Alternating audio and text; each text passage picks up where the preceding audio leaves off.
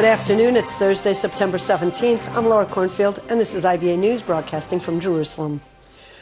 Relative calm was restored to Jerusalem's Old City today following four days of violence between Palestinian protesters and security forces. Police presence in and around the area was beefed up. Dozens of members of the Likud's party youth movement gathered this morning at the Temple Mount compound just hours after police arrested at least eight Palestinian protesters suspected of involvement in the recent unrest at the site. Members of the Likud movement said their planned visit was aimed to assert Israeli sovereignty over the compound, even though the Prime Minister's office had reportedly tried to persuade them from ascending to the Temple Mount. Their visit went without incident. While the violent confrontations which began this week at the start of the Rosh Hashanah holiday had mostly faded, Forces in the area will remain on high alert ahead of the upcoming Yom Kippur holiday next week. Palestinian sources are reporting that PA President Mahmoud Abbas is planning to drop a so called diplomatic bombshell when he addresses the United Nations General Assembly at the end of the month. Abbas reportedly uh, told the daily Al Quds Al Arabi that he plans to retire soon, but he didn't elaborate. Meanwhile, Abbas was more outspoken yesterday when he addressed a group of East Jerusalem residents about the latest violence in Jerusalem. The PA president said the Palestinians won't allow Israelis to desecrate Islamic and Christian holy sites. Al-Aqsa is ours, and so is the Church of the Holy Sepulchre. He added that the Jews have no right to desecrate them with their filthy feet. We won't allow them to do so. Abbas went on to say that each drop of blood that was spilled in Jerusalem is considered pure blood as long as it's for the sake of Allah. Palestinian security prisoner Mohammed Allan has relaunched his hunger strike after he was rearrested yesterday. Allan, who was discharged from the Barzilai Medical Center in Ashkelon, where he had been receiving treatment, was returned to the custody of the Israel Prison Service and immediately resumed his protest against his detention without the filing of criminal charges. The 31 year old suspected Islamic jihadist terrorist was released from administrative detention last month after refusing food for over 60 days. His brother today told Army Radio that Allan is prepared to die for the sake of this protest. He said he told him that he will refuse to eat, drink, speak, or receive medical treatment unless he is once again released from administrative detention. In late August, the High Court of Justice ordered the hunger striker's release due to his deteriorating medical condition and the suspicion that he suffered brain damage. The release order allowed Allan's family to visit him freely while undergoing medical treatment and suspended his administrative detention. The IDF today deployed an Iron Dome battery in the Ashdod area amid fears of renewed rocket fire into Israel from Gaza. The move was made as part of preparations for a potential escalation of tensions in connection to Allan's condition and concern that he may die. The Army's Southern Command confirmed that Allan's arrest was behind the decision to deploy the anti missile defense system, but stressed it was a preemptive measure and that rocket fire was not anticipated. Now it's official. Following months of tension between the two, U.S. President Barack Obama and Prime Minister Netanyahu will meet in Washington. On November 9th, 2015, we'll host Israeli Prime Minister Benjamin Netanyahu at the White House. The President looks forward to discussing with the Prime Minister regional security issues, including implementation of the Joint Comprehensive Plan of Action to peacefully and verifiably prevent Iran from acquiring a nuclear weapon, and countering Tehran's destabilizing activities in the region. The November meeting will be the first for the two leaders since U.S. led diplomacy resulted in the Iranian nuclear deal that Israel fiercely opposes. Dispute over the agreement drove an even deeper wedge in the already strained relations between Washington and Jerusalem. In March, Obama refused to meet Netanyahu when the premier accepted an invitation from Republican leaders without consulting the White House and gave a speech to Congress in which he harshly criticized Obama's negotiations with Iran. The two have since spoken by telephone, but haven't seen each other face to face since last year. However, the White House has reiterated the Obama administration's commitment to Israel's security and advancing strategic cooperation between the two countries. The president also looks forward to discussing Israel's relations with the Palestinians, the situation in the Gaza Strip and the West Bank, and the need for the genuine advancement of a two state solution. Prime Minister Netanyahu's visit to the United States is a deep demonstration of the deep and enduring bonds between the United States and Israel, as well as our unprecedented cooperation to further enhance Israel's security. Uh, Prime Minister Netanyahu has previously described the level of security cooperation that's been offered by the Obama administration as unprecedented. Uh, that, I think, is an indication of the President's personal commitment to the security of Israel and to the unshakable bond between our two countries. The President has, for some time, indicated a, not just a willingness but a desire uh, to engage in, con- uh, in, uh, in, conversations about how we could further deepen that security cooperation. Um, there was some reticence on the part of the Israelis initially in, uh, to engage in those discussions. Uh, but we uh, would expect, in the context of uh, this meeting in November and uh, others that may be on the, the agenda for uh, low, lower level officials, uh, to begin having those discussions. Joining me now from our Tel Aviv studio to discuss the latest tensions surrounding the capital is Jerusalem affairs expert Professor Moshe Amirav of Hebrew University. Professor Amirav, thank you so much for coming in. Hi. Israel's response to the Palestinian violence in Jerusalem has sparked condemnation across the Arab world and the international community. What is it they expect us to do, and why is this so volatile? Uh, nothing new. We have a very short memory when it comes to history of the conflict between us and the Palestinians. Even in the 30s, the main question between us and the Palestinians that raised attention of the whole Muslim world was Temple Mount. The Palestinians were always, especially their leader Hussein at that time, clever enough to understand that if they want the support of the world, the Muslim world, against the Zionist movement, they have to raise the question of Temple Mount and the Wailing Wall. And they did it very successfully, and until now they are doing it very successfully. This is a very sensitive issue uh, between the Palestinians and the Arab world, the Muslim world, and whenever Israel is falling into the same trap of uh, having riots on the mountain, it goes against us, Israel. It will always be in favor of the Palestinians. Professor, are these actions considered a violation of the sanctity of the Temple Mount site? I, I couldn't hear you. Are these actions considered a violation of the sanctity of the Temple Mount site? Yeah, the, uh, the situation in uh, Temple Mount is very uh, strange. I mean, on one hand, uh, we say we have sovereignty in Jerusalem. Actually, no country in the world agrees or recognizes our sovereignty in Jerusalem. Israel says that we have sovereignty over Temple Mount, but actually, there is no flag, no Israeli flag, and uh, the Israeli administration, including the army, is not there unless there are riots. So I think the government has to decide what is the special status we Israelis are ready to give to this temple.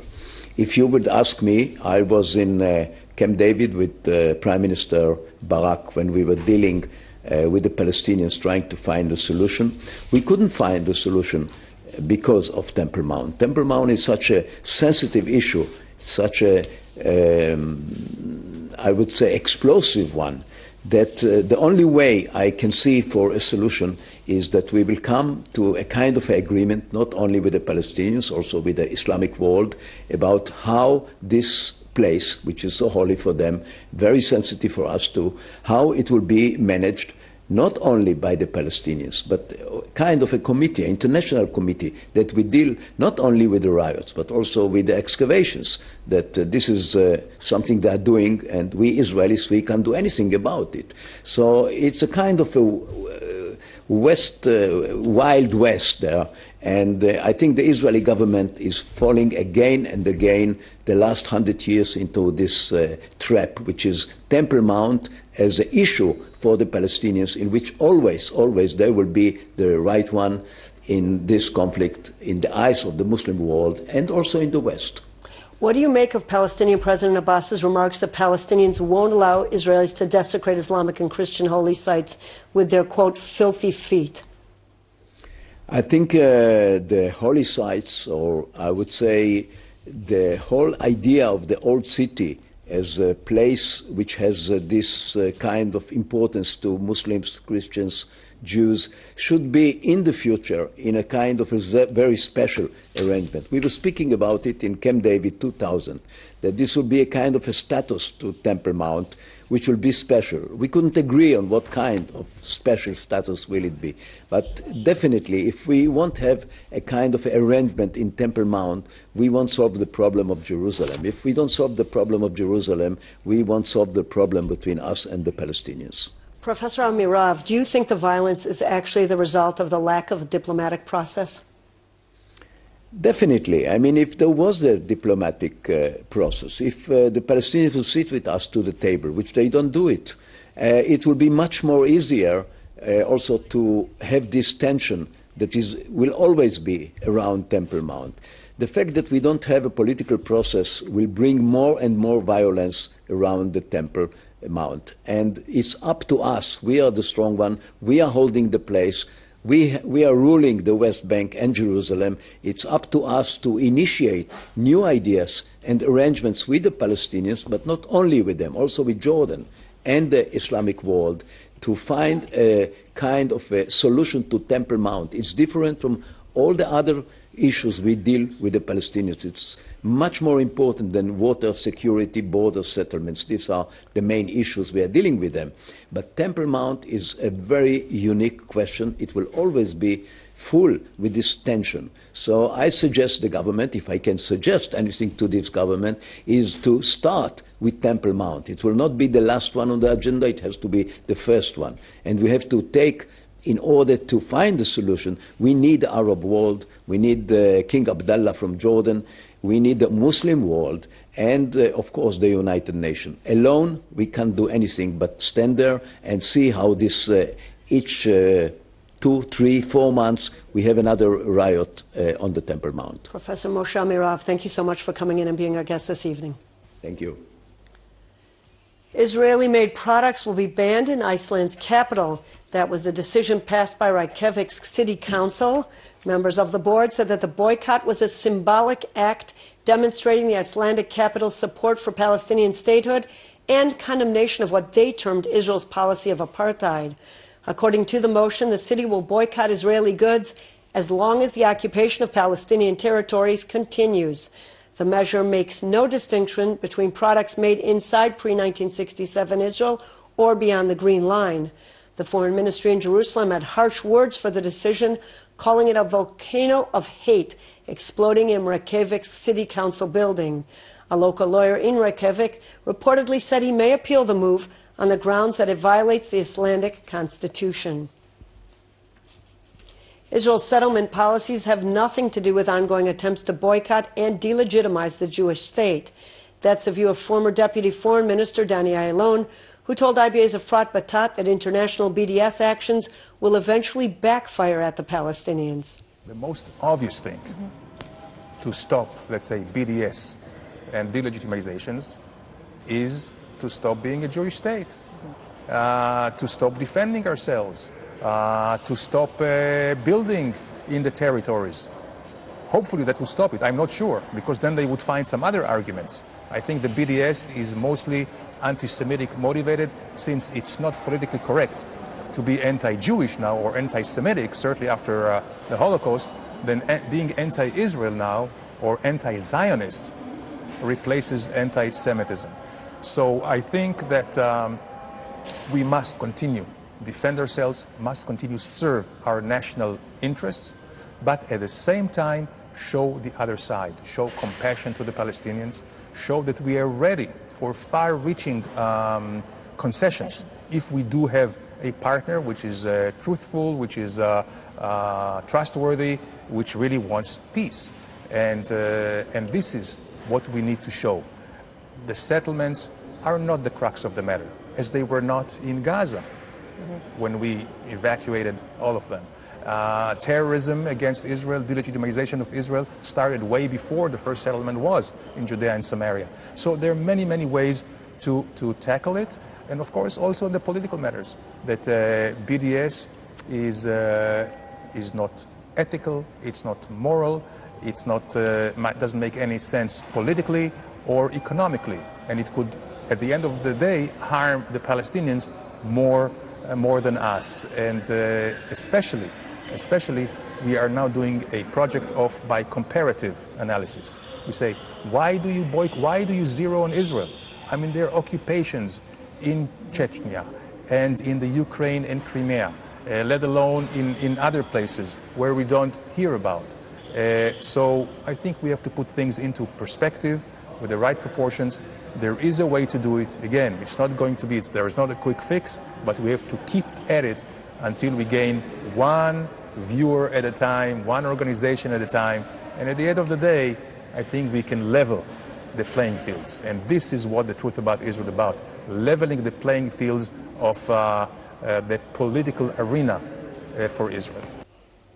Turning to the U.S., where Republican presidential candidates held their second debate last night, the 11 presidential hopefuls lambasted Obama and sparred over foreign policy, especially the future of the nuclear deal with Iran and the legacy of the war in Iraq. Lining up in the Reagan Library Air Force Pavilion in Washington, D.C., the group debated for nearly three hours, much of which they went at each other with personal attacks. However, one thing was clear they were united in their support for Israel. You have not heard a plan about Iran from any politician up here. Here's my plan. On day one in the Oval Office, I will make two phone calls. The first to my good friend Bibi Netanyahu to reassure him we will stand with the state of Israel. The second to the supreme leader to tell him that unless and until he opens every military and every nuclear facility to real anytime, anywhere inspections by our people, not his, we, the United States of America, will make it as difficult as possible to move money around the global financial system. We can do that. We don't need anyone's cooperation cooperation to do it. And every ally and every adversary we have in this world will know that the United States of America is back in the leadership business. How do we confront Iran? And the first thing that we need to do is to reestablish our commitment to Israel, which has been tattered by this administration, and make sure that they have the most sophisticated weapons to send a signal to Iran that we have Israel's back. If we do that, it's going to create a healthier deterrent effect than anything else I can think of. This threatens Israel immediately.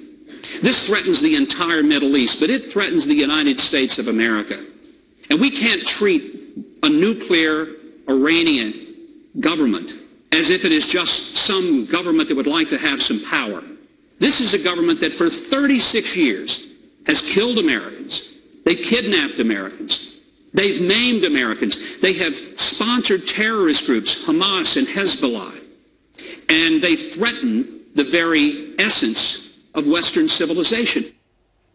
In more local news, a Bat Yam resident was arrested this morning on suspicion of murdering his wife overnight. He has confessed and reenacted the incident this afternoon. The 37 year old man phoned the police and told them that he killed his 31 year old wife. He waited next to her body until they arrived.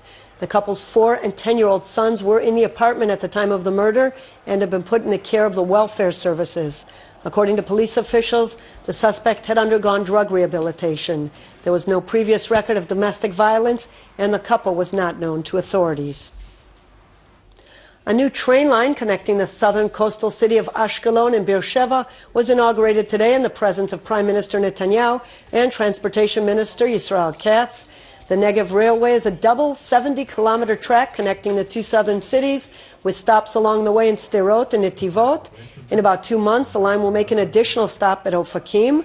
The 2 billion shekel train line will be operating daily with about 25 trains running in each direction.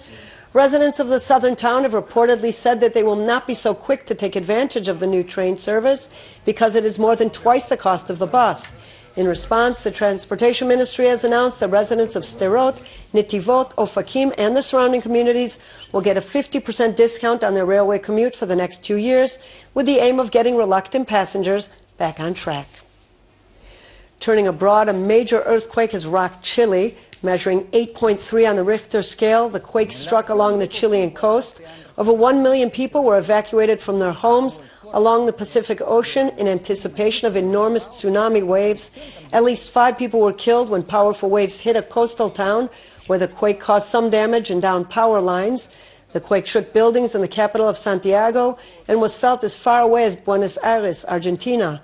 It was the largest earthquake worldwide this year. Tsunami advisories were also issued for Hawaii, French Polynesia, and California. In financial news, the shekel was mixed against all major foreign currencies, while share prices on the Tel Aviv Stock Exchange were down in end of week trading.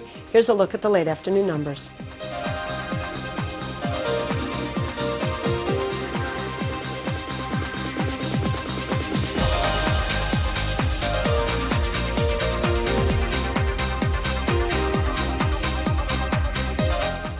Turning to the forecast, a no change in temperatures is predicted tomorrow. Here are the highs and lows for the next 24 hours at home and abroad.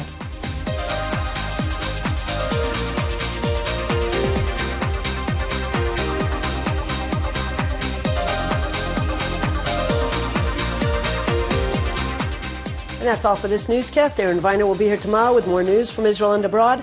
Until then, I'm Laura Cornfield wishing you a great weekend and shalom from Jerusalem.